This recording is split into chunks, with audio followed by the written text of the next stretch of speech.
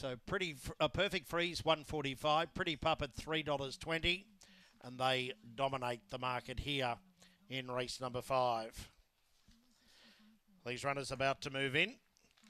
Starting signal given now.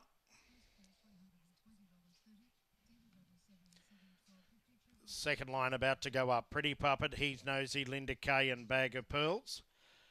Congratulations to a very, very good mate of mine, Malcolm Ross, taking out the Casino Cup there with and Bonnie.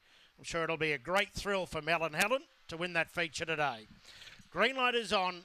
Racing now, missing it was perfect freeze on the inside, but now mustering through and will go through and take the lead over Pretty Puppet. He's Nosy Harbour Miss for Handy getting back. Kravitz goes into third spot, followed by Linda Kay. Laser Girl and Bag of Pearls at the tail of the field. Perfect freeze leads off the back, got five in front over Pretty Puppet, followed by Kravitz and He's Nosy, but it's all perfect freeze in the straight, and perfect freeze goes to the line to win by seven. Second Kravitz, Pretty Puppet, followed by He's Nosy, Linda Kay, then Harbour Mint.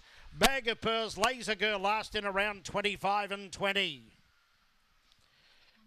Number one, perfect freeze for Jeff Crawford, the winner. A little bit slow away at the start.